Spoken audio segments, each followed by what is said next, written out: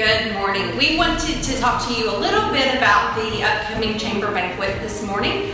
We are off to the races this year. So Kentucky Derby themed banquet with silent auction, live auction, dinner, and awards. It is set for April 15th at Hideaway Lake. Tickets will sell out. Last year they sold out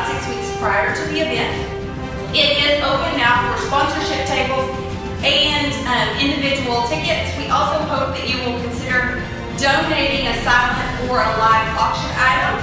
The silent auction can be anything of $20 value or greater, new items only, or if you're an antique dealer, of course, that's an exception to our rule.